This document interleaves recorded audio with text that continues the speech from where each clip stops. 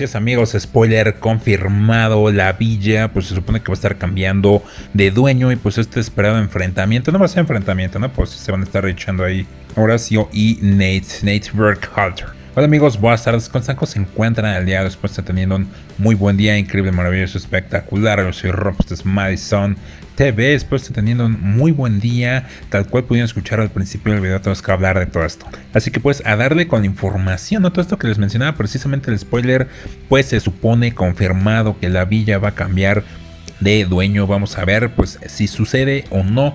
Recordaremos que en muchas ocasiones han fallado los spoilers y si no es un spoiler que haya filtrado pues el maestro poderoso Christian B, sino que es un pues spoiler que está filtrándose en redes sociales desde la mañana. Vamos a ver si los rojos ganan o no. Vamos a actualizar de hecho las encuestas en la comunidad. Eso por un lado.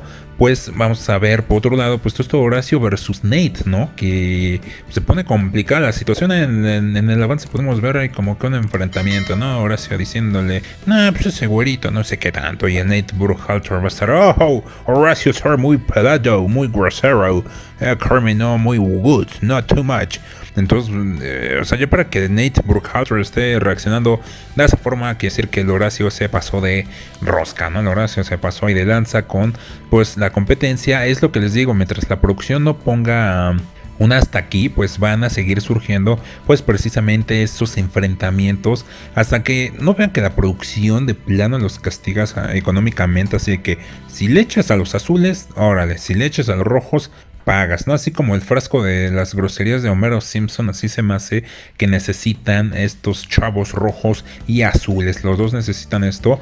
Vamos a ver el día de hoy Villa, el día de mañana sentencia. Muchos dicen que el domingo sale rojo. Vamos, mucho depende de lo que salga el día de mañana. Si este, pues si sale este Bell, este, ¿cómo se llama? Briadam, ¿no? El Briadamation. Si, sale Briadam, pues sentenciado, obviamente vamos a tener una mayoría de sentenciados rojos y ya nada más faltaría el domingo. Si los rojos ganan y sale un azul, pues todavía estaría pues en duda, pero estadísticamente cuando hay mayoría de un color, casi siempre sale ese color. Cuando hay dos azules y un rojo, sale un azul. Cuando hay dos rojos y un azul, sale el rojo y así. Igual aplica para hombres y mujeres en esta semana 10 de competencia, donde pues sí siento que también hace falta pues competir por otras cosas.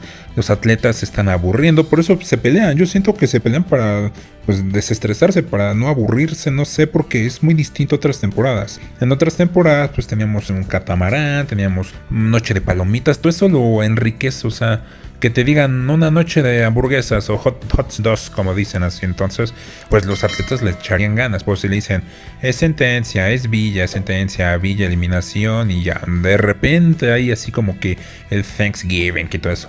Pero pues fuera de eso no tenemos competencias pues más interesantes. Ustedes me pueden dejar en los comentarios, actualicemos la encuesta en la comunidad y nos vemos también en los comentarios. Pues amigos, gracias por ver mi video. Soy Robs, me despido. Cuídense mucho. Bye bye.